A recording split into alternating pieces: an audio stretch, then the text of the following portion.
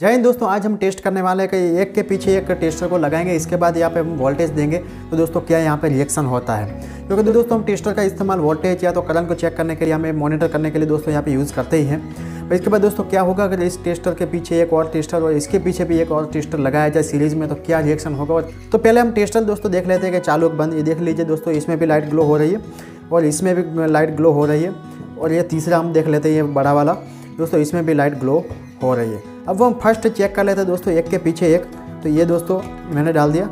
इसमें लाइट जल रही है। इसके पीछे हम दूसरे एक डालेंगे। तो दोस्तों, देख लीजिए, इसमें भी लाइट जल रही है इसमें भी जल रही मैं आपको दिखाने की कोशिश करता हूँ, थोड़ी सी। देख लीजिए। दोस्तों देख लीजिए, इसमें भी जल है और इसमें भी जल है अब हम दोस्तों क्या करेंगे कि इसके बाद तीसरा टेस्टर लगाएँगे। इसको मैं यहाँ पे लगा देता हूँ, इससे क्या क्या थोड़ा। इसके बाद दोस्तों मैं यहाँ पे तीसरा टेस्टर लगाऊँगा, इसके पीछे। तो इसके बाद क्या रिएक्शन होता है? दोस्तों देख लीजिए, एक में भी लाइट यहाँ पर नहीं जली।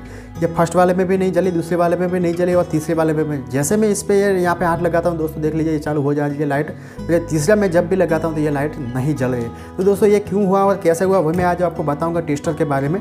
तो इसके लिए हम यहाँ पर बुक को लेके आया और यहाँ पे आपको थोड़ा सा समझाने की कोशिश करते हैं कि यहाँ पे किस टाइप से हुआ है। ये मान लीजिए आपका एक बोर्ड था, इसमें आपने एक टेस्टर लगाया और एक दूसरा लगाया और एक यहाँ पे आपने तीसरा लगाया। अब अब जब आप इस बोर्ड में यहाँ पे फ़र्स्ट टेस्टर लगाते हैं तब इसमें क्या होता है जब यहाँ पे ये फ़र्स्ट वाले जब आप देखेंगे यहाँ पे ऐसे लीड लगा के इसके बाद यहाँ पे एक मल्टीमीटर से एक यहाँ पे लीड देंगे और एक दूसरे एक यहाँ पे ज़मीन पे लगा देंगे कहीं पे भी ग्राउंड कर देंगे ज़मीन पे तो दोस्तों यहाँ पे जो वोल्टेज आएँगे पीछे वाले वो दोस्तों यहाँ पे 40 आएँगे 40 वोल्टेज आएँगे जब भी ये रजिस्टर से होकर यहाँ पे जो वोल्टेज आते हैं वो दोस्तों यहाँ पे 40 वोल्टेज आते हैं हमारे तो यहाँ पे एलईडी बहुत ग्लो होगी क्योंकि इसका उसको 40 वोल्ट मिल रहा है उसको चाहिए यहाँ पे 20 वोल्ट मिनिमम 20 वोल्ट पे ये स्टार्ट हो जाती है।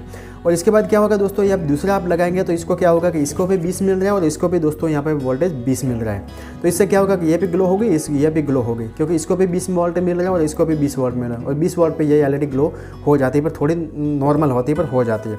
इसके बाद हम जब तीसरा लगाते हैं तो इसमें क्या होता है यहाँ पे तो तीसरा यहाँ पे चालीस वोल्ट के डिवाइड हो जाते हैं। तो तेरह तेरह वोल्टेज इसमें भी तेरह वोल्टेज मिलेंगे, इससे भी तेरह और इसमें भी तेरह। तो इससे भी एलईडी ग्लो होनी होगी, क्योंकि क्योंकि दोस्तों इसको एलईडी को ग्लो होने के लिए बीस वोल्ट चाहिए और हमें इसको सारों को यहाँ पे क्या होता है सीरीज़ में यहाँ पे तेरह तेरह वोल्टेज मिल रहे तो ये एलईडी ग्लो नहीं होगी। तो दोस्तों, यही दोस्तों टेस्टर का फंडा था। तो आई होप कि इससे आपको कुछ ना कुछ जानकारी मिली होगी। और ऐसी वीडियो देखने के लिए हमारे चैनल को सब्सक्राइब कीजिए और बेल आइकन को दबाइए लेटेस्ट अपडेट पाने के लिए, क्योंकि हम आपके लिए ऐसे वीडियो लाते रहते हैं। तो मिलते हैं अगले वीडियो में। Bye bye Tata.